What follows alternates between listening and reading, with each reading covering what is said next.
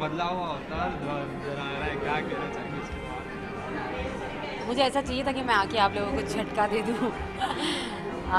नहीं पर हाँ क्योंकि बहुत टाइम से आप लोगों ने मुझे सिर्फ़ प्रीतों के रूप में देखा है इसलिए आप लोगों को ऐसा लगा है। तो प्रीतों से थोड़ा सा बाहर निकल के काम्या से मिलिए मैं हूँ काम्या पंजाबी और मैं ऐसी ही हूँ।